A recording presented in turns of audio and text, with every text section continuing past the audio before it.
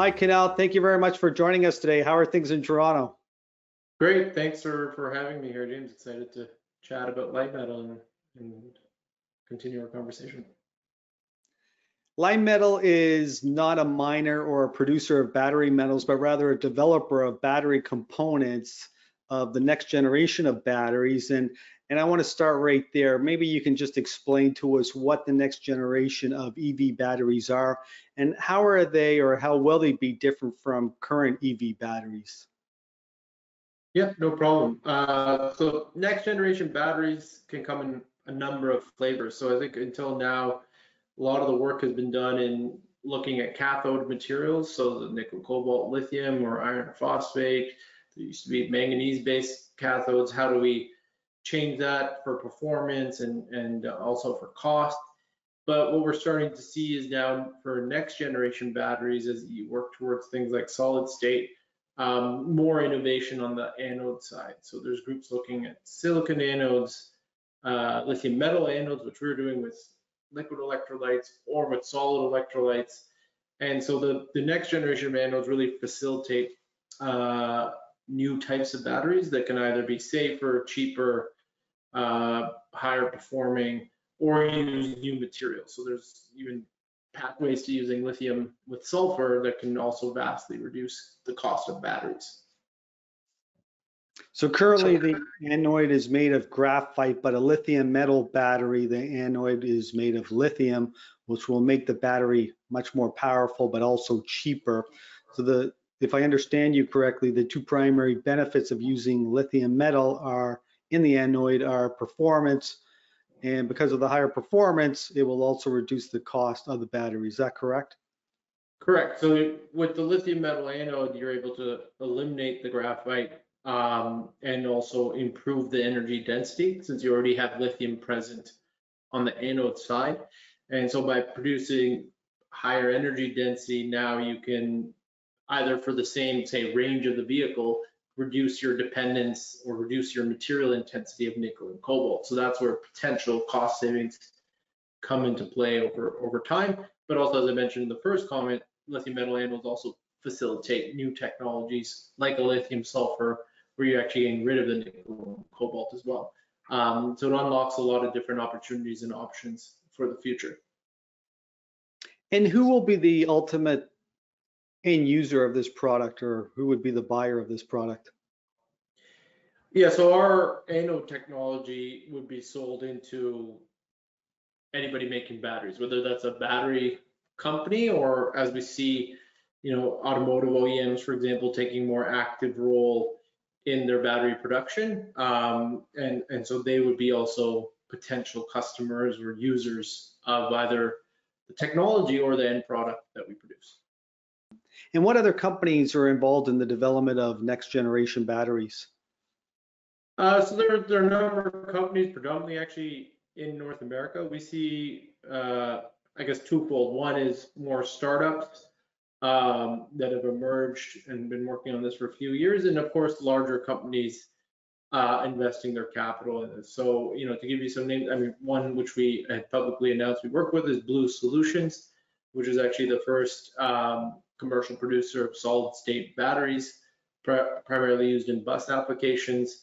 Uh, but then there's a number of companies like Cuberg, which is actually owned by Northvolt, Factorial Energy, um, SES. So uh, there's a group, as I said, primarily here in North America.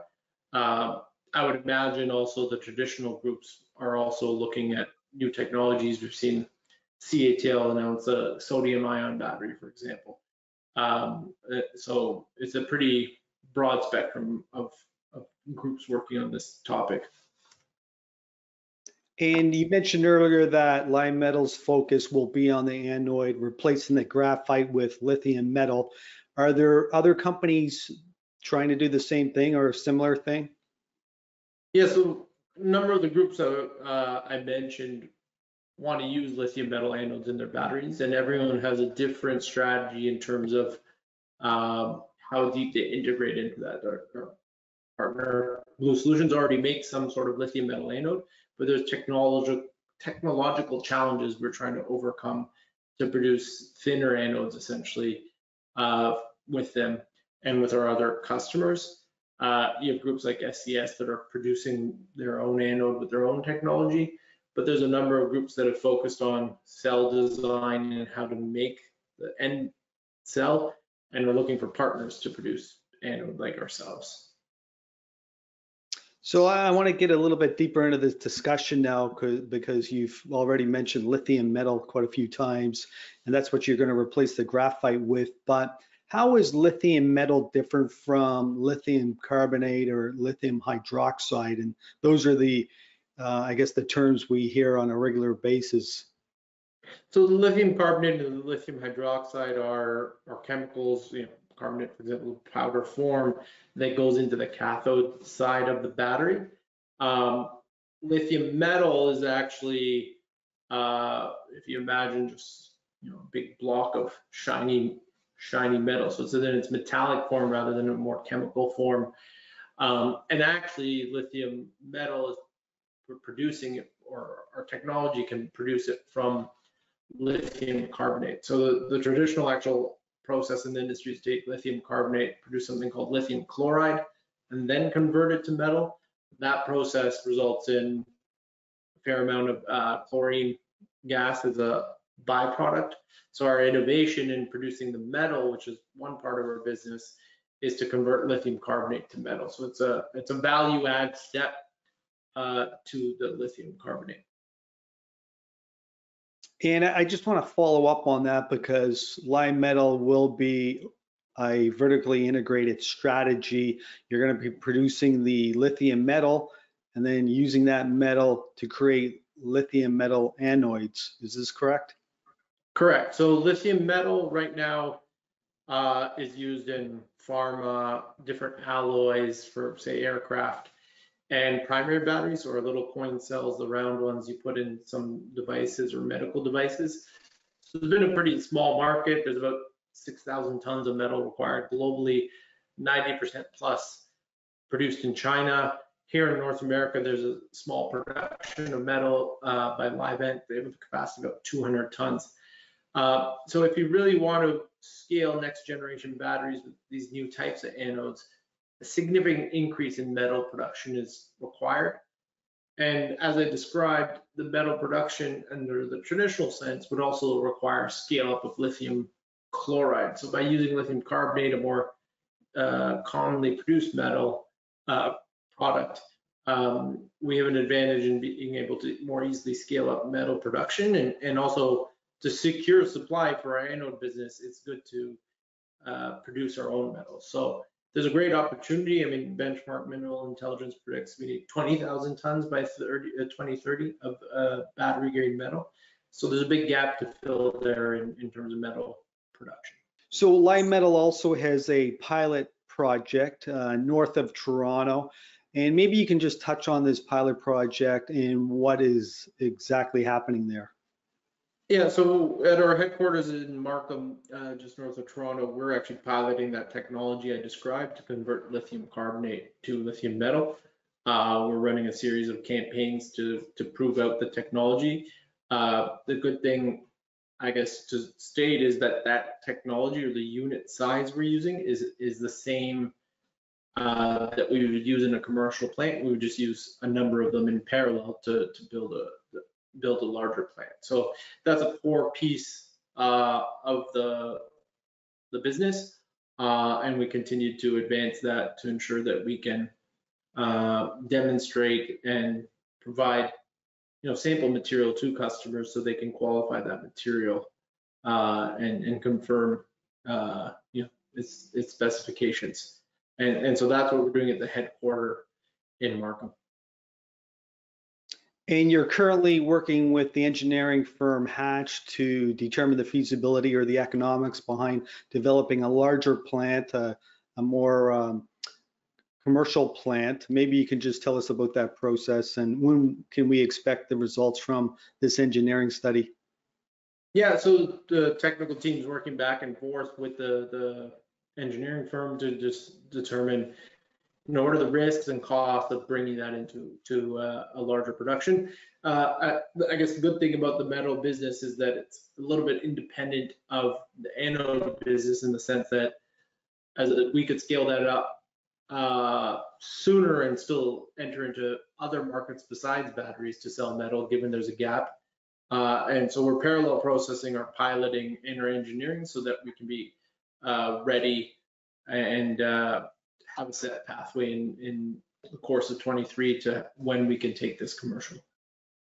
I want to move on now and discuss your partner, Blue Solutions. You touched on this earlier, but you've entered into a, an agreement with Blue Solutions. Maybe we can just start by who Blue Solutions is. It's a company I'm not familiar with. Yeah, Blue Solutions, their facility in Quebec, it's also owned by a French conglomerate uh, called Bolloré, and uh, I think they, they've produced the first commercial solid state battery. Um, and, and they do have some, you know, it works, it, it works in buses.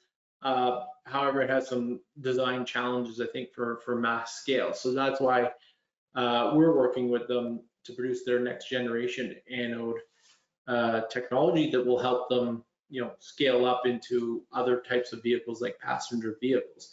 And really, it's it's our anode technology that helps them unlock that because it enables very thin anodes. The traditional way to make a lithium anode is roll it and uh, or extrude the lithium, uh, but you have a limitation to how thin you can uh, take that because it becomes very fragile. Uh, imagine, you know, aluminum foil and you could just sort of rip it apart very easily, which is not great for a battery. Uh, so our anode technology, which is used is a technique called vapor deposition, uh, allows you to basically spray paint, in a sense, lithium onto, say, a copper backing and produce a very thin layer of lithium, which is, is beneficial to produce their next generation of batteries. And do you have an exclusive agreement with Blue Solutions? Are you in discussions with other OEMs or battery makers? Yeah, we're, we're casting a wide net as there's a number of companies interested in our anode technology and our metal. So we have samples out to 12 or more companies. We're talking to 20 plus and continuing to, to widen the reach here in North America and in, in Europe to a certain extent. Um, so there's no exclusivity. There's, there's a wide, uh, I guess, demand for uh, th- these types of anodes. So we can expect more announcements on partnerships in the future. Yeah, we're, we'll keep, part of our objectives is to continue to expand commercial relations and, uh, and then of course, if, if we are successful, we would hope to bring that to the public eye and, and our investor or shareholder base. And a trend we're seeing with a lot of lithium producers or even lithium companies that are in the development stage is that they're entering into offtake agreements with OEMs and typically in return for um, not only the, the lithium, but also an equity position in the company. Is this an option available for Li-Metal?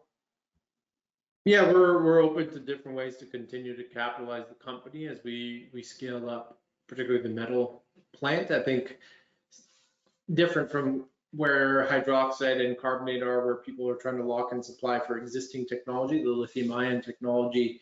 Uh, I would say companies a little bit further away from locking in their metal supply for the future, but uh, you know, down the road that could definitely be be an option. And independent also of the next generation batteries, we see there's opportunity to uh, you know lock up some of the the offtake of a potential commercial plant, given that most people are importing their lithium metal right now.